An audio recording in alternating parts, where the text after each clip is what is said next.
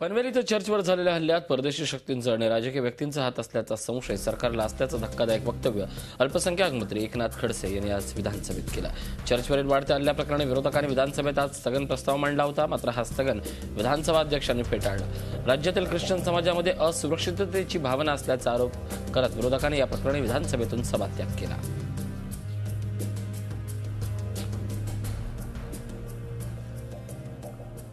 दोषी असेल अध्यक्ष महोदय त्याला कठोर शासन करण्याची या सरकारची भूमिका आहे. आणि अध्यक्ष महोदय यामध्ये काही परकीय शक्तींचाही हात आहे का? का कोणी समाज घटक समाज विद्रोही समाज कंटकांचा काही हात आहे का? या राज्यामध्ये अशांतता पसरवणारे काही घटक आहेत या राज्यामध्ये? ते तर काही व- डोकं वर काढतायत की काय? अशा या सर्व बाजूने ह्याची चौकशी करू. खर तर शासनानं अधिक संवेदनशील राहण्याची आवश्यकता आहे.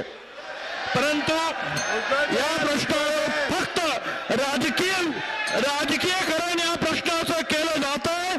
उत्तर सुद्धा राजकीय स्वरूपाचं आहे. सरकार संवेदनाहीन आहे आणि म्हणून आम्ही पदत्याग करीत आहोत.